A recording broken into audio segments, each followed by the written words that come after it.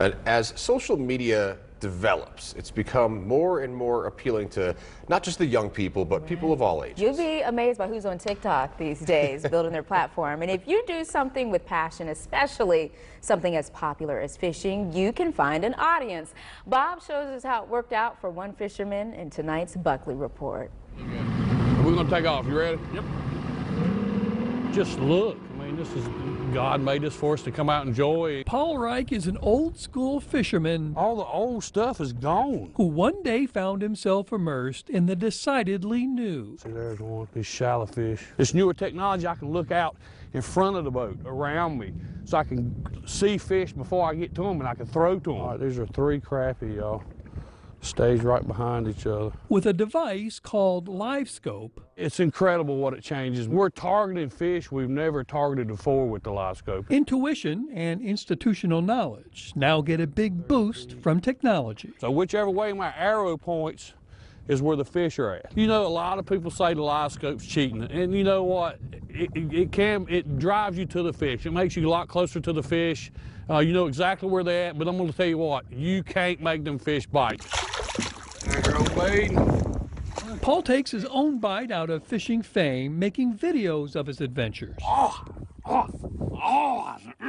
Steven's back in the boat with me from last time. Are you ready to catch one, bro? Man, I'm trying to catch one right now. I say, this stuff's addicting, man. and became a social media influencer. Yep, yep. It, it's crazy, man. It is so crazy.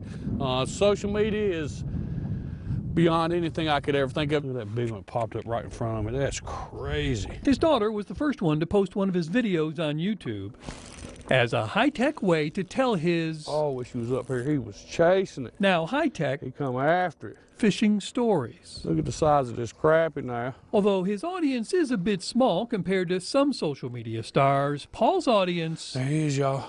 is dedicated, Thick, passionate, good meat.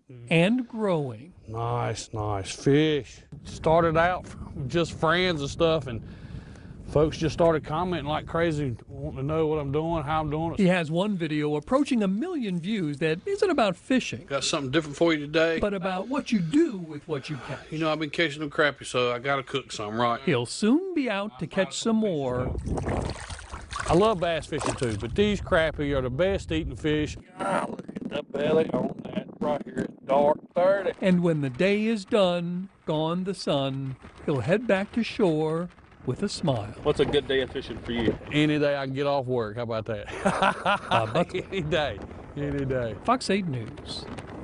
Good for him. He looks fun to watch. Well, Paul Wright has his videos on YouTube under the title PR Fishing. And we've put a link to his page on myfox8.com. Just look for this story on the website. Yeah, Fisher.